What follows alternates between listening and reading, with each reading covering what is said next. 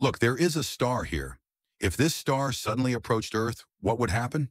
Today we will explore it using the Universe Star Map. Open the Universe Star Map, switch to telescope mode, then adjust the focal length to zoom in. The star has now been clearly shown. This star has an immense mass. If the star were to suddenly approach Earth, even from a great distance, its powerful gravity could disrupt the orbits of objects in the solar system, potentially causing asteroids and comets to be flung toward Earth.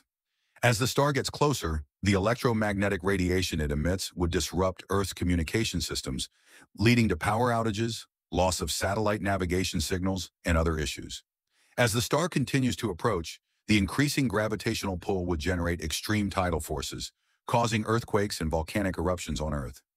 Finally, when the star reaches close proximity to Earth, its immense gravity would begin tearing Earth apart. The planet would be stripped away layer by layer, forming an accretion disk that orbits the star.